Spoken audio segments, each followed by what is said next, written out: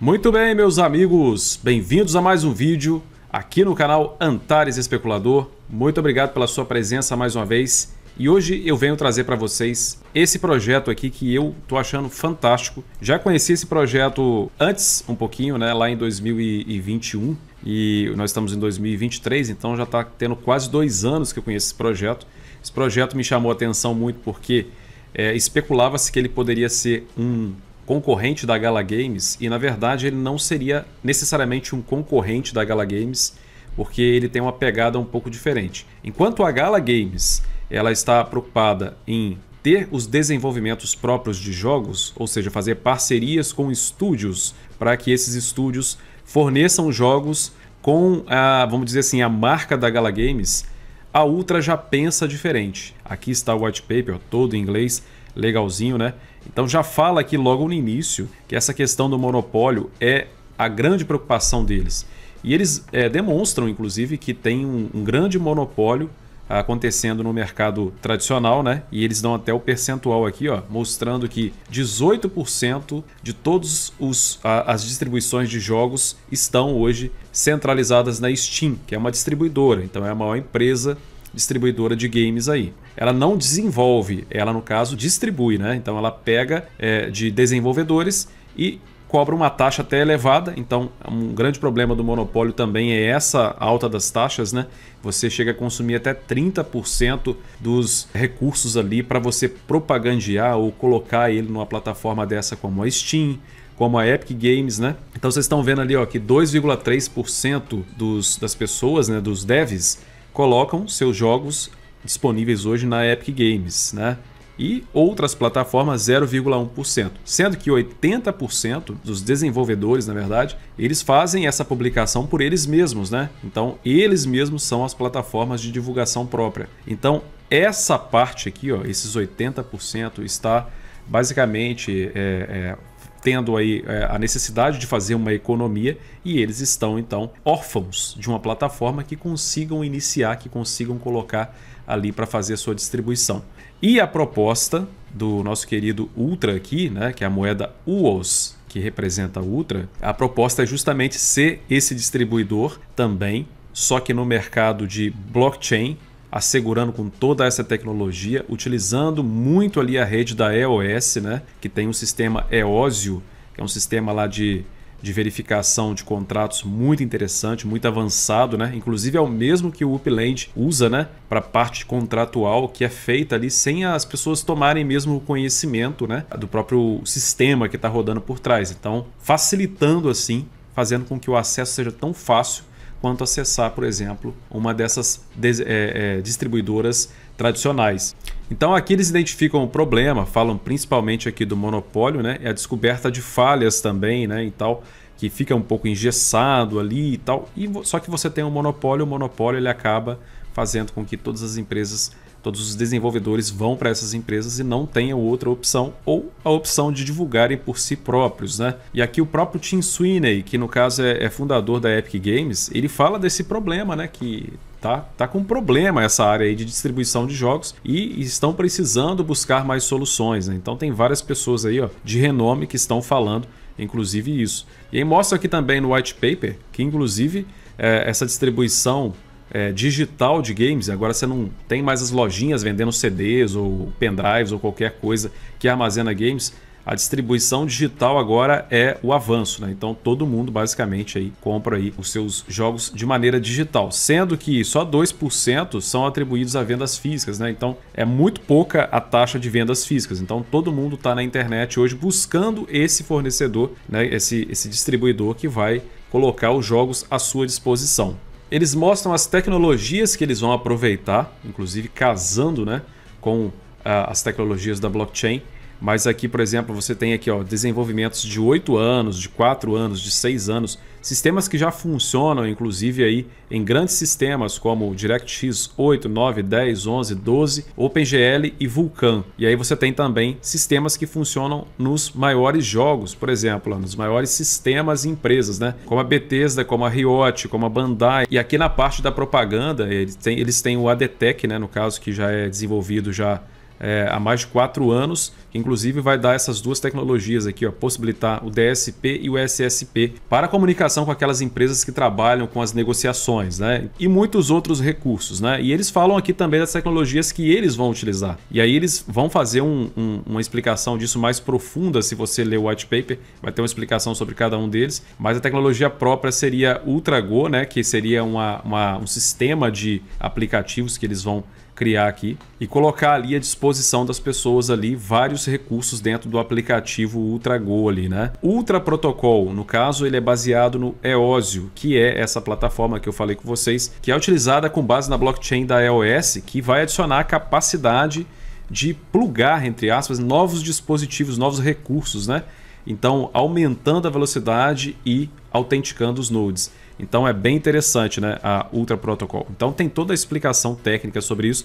Não é o objetivo do vídeo falar sobre isso. Né? Eles fazem até uma comparação com Ethereum e com Bitcoin. Né? A, a confirmação, a velocidade da confirmação até 3 segundos na rede da Ultra, utilizando essas tecnologias aqui da EOS, né? inclusive implementada pela plataforma Eosio até 3 segundos, né? E aqui na rede da Ethereum você toma até 10 minutos, na rede do Bitcoin até 12 horas, dependendo, claro, das taxas do gás que você configura lá. Transação, volume de transação 12 mil por segundo, enquanto na rede Ethereum cerca de 20 por segundo, no Bitcoin 7 por segundo, né? E, por isso que demora às vezes as confirmações lá que a gente às vezes fica esperando, né?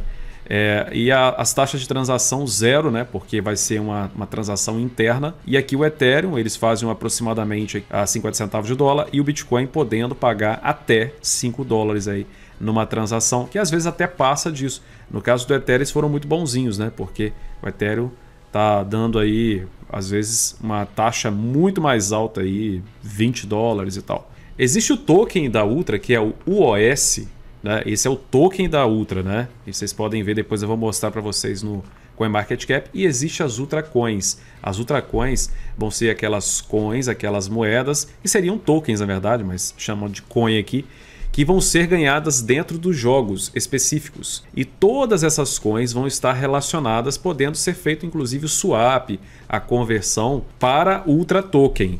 É, que seria o UOS, né, que é o token próprio da plataforma. Então você pode ver que a parte central aqui ó, é justamente o UOS. E aqui os sistemas ligados, os jogos, né, vão, você vai ganhando as Ultracoins, que também vai ser bem interessante. Tudo que é Ultracoin, claro, vão ter nomes específicos.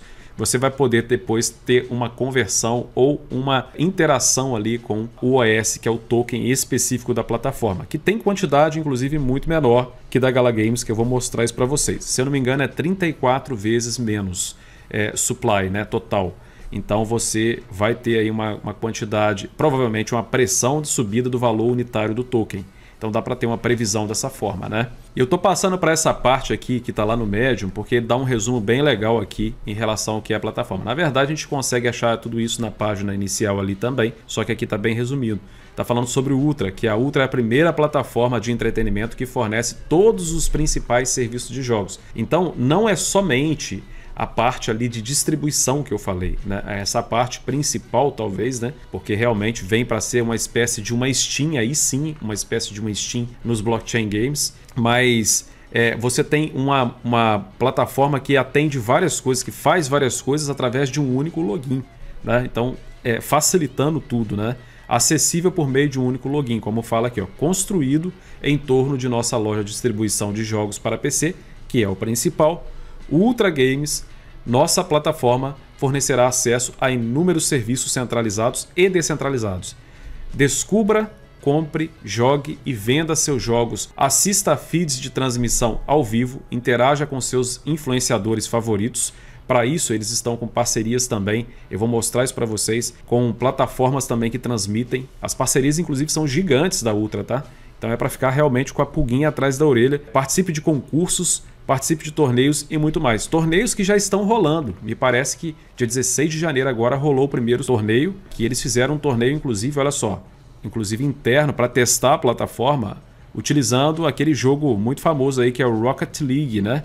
Olha só que interessante. Então teve aqui, ó, aqui mostra um pedacinho do evento. Eles têm também a parte lá da, da Unique, né, da parte de, de NFTs, E é bem interessante também porque você tem praticamente um marketplace ali voltado para esses sistemas que estarão dentro do jogo aí dentro do, da plataforma deles, né, de distribuição. Então você pode adquirir tanto cosméticos quanto também coisas que vão ser ou NFTs que vão ser usuais nos jogos. Já fizeram parceria inclusive com esse sistema aqui, ó. Deixa eu ver se eu acho aqui, Mars 4, né? Um metaverso de Marte, né? Triplo A impressionante isso aqui, tá? Que é justamente um jogo aí muito interessante, aí pede até para vocês seguirem aqui, ó, no Twitter, né? que vocês vão ter informação. Mas é muito legal, cara, as atualizações que eles têm feito aí e eles têm realmente desenvolvido bem interessante aí esse projeto, né? Então você pode ver que teve aquela alta lá no 2021, né, que era o ano das promessas dos metaversos, dos games, aquela coisa toda, olha só, e depois foi despencando e fez aquela base. Aquela base que a gente costuma dizer, né? Que você encontra basicamente o piso ali e você fica lateralizado até que você depois realmente entrega e você tem uma explosão. É o que está acontecendo com muitos projetos, inclusive que eu mostrei em vídeos anteriores aí também. Mostrei para vocês o GGG também, né? Que subiu bem também, deu 4x aí instantaneamente. Então, se o mercado de Bitcoin e criptomoedas é, ele realmente explodir, a gente vai ver uma parede ascendente ali praticamente de vários desses tokens, principalmente aqueles que têm é, grandes projetos por trás. Você pode ver aí a consolidação que tem acontecido com a Gala Games e com outros projetos grandiosos aí. Então, isso aqui ó, é, seria a configuração de um momento muito bom para compra, sendo que, aproveitando o CoinMarketCap aqui agora, nós vamos ter apenas o total supply de 1 bilhão de tokens. Vai falar, isso é muito. Para vocês terem uma ideia, comparação com a Gala Games, Gala Games está com 34 bilhões de tokens de supply máximo sendo que ela não entregou, ela entregou acho que, sei lá, uns 20% aí, né? E isso aqui já entregou 30% dos, de todos os tokens, ou seja, estão em circulação. Entregar que eu falo é que estão circulando, né? Então, vai chegar um ponto em que você vai realmente ter aí uma consolidação dos tokens no mercado, você vai ter 100% dos tokens rodando, né? Claro que isso aí vai sendo feito de maneira paulatina. E se você quiser comparar, eu sempre uso um título de comparação aqui, porque tem uma moeda muito grande lá nas primeiras posições que ela, ela tem 100 bilhões de tokens, que é justamente a XRP. Então dá para tirar uma base pela XRP. Então, se, essa, se esse token aqui ó, custa 23 centavos, né, e vamos dar uma olhada lá no, no XRP, a XRP está aqui ó, custando 38 centavos com 100 bilhões de unidades, já com mais da metade já aqui em circulação, ó, tá vendo? Não é minerável, mas com metade já em circulação. Significa que é, esse lançamento gradativo né, vai fazer com que se hoje a UOS atingisse a posição da XRP aqui, esse é só título de comparação, tá gente? Não quer dizer que vai ser assim não. Mas se ela atingisse isso, você teria, na verdade, aqui esse valor de 38 né, centavos com a mesma capitalização de mercado vezes 100. Por quê? Porque ela não tem 100 bilhões de tokens, ela tem 1 bilhão de token, então seria 100 vezes menos token. Então, para vocês terem uma ideia, o preço hoje, se ela atinge a capitalização de mercado da XRP, basicamente ela faria isso aqui, ó, 38 centavos vezes 100, ok? Isso não é dica e não é certeza, mas ela poderia atingir até 38 dólares. Claro, gente, vamos ser sinceros aqui, a capitalização de mercado está gigantemente longe de qualquer coisa que a gente fala de XRP.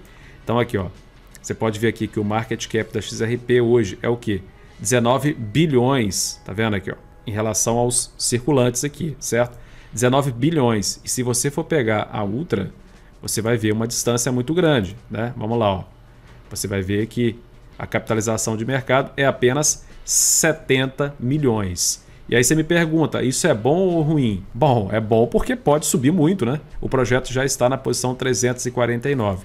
Só para vocês saberem aqui, ó, projeto que a gente trabalha muito, que muita gente gosta e é praticamente o concurso na internet, está em 277. Elas estão próximas ali na, na, no posicionamento, menos de 100 posições na frente uma da outra, né? Então a capitalização do Mobox é 101 milhões, né? a capitalização da Ultra 70 milhões. Então não é uma coisa tão distante né? Uma coisa que pode acontecer. E, lembrando, né, todos os projetos que podem se capitalizar são melhores para você explodir. Então, ele tem o um market cap baixinho e, de repente, ele vai lá e explode mais. Aqui nem tão baixo assim, devido ao posicionamento dela tá até uma capitalização muito boa. Mas vocês entenderam aí a parte da XRP, é, o comparativo é que tem 100 vezes menos tokens é, emitidos no total, que vão ser emitidos no total, sendo que se chegar então na posição com a mesma capitalização de mercado, estaria hoje a 38 dólares. Sem falar que estaria mais caro que 38 ainda, provavelmente, porque a quantidade emitida foi 30% apenas, sendo que o XRP já emitiu 50% de todos os tokens. São detalhes que nos animam, né? Além de você ter uma equipe que trabalha muito e as parcerias que eu falei que eu ia mostrar para vocês eu não mostrei.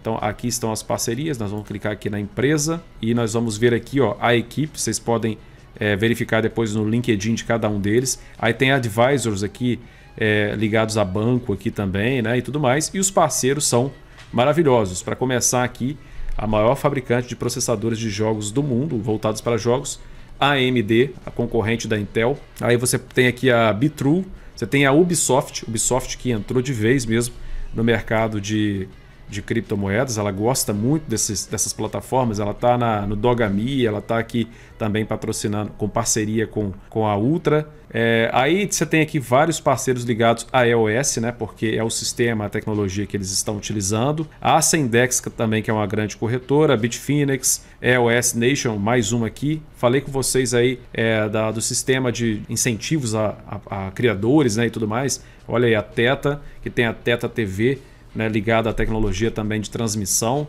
KuCoin, Atari, olha só que que parceria de peso, Atari, The Sandbox também de peso demais dentro do mercado cripto, que é um sistema aí maravilhoso com muita expansividade aí, talvez um dos melhores metaversos que existem, né?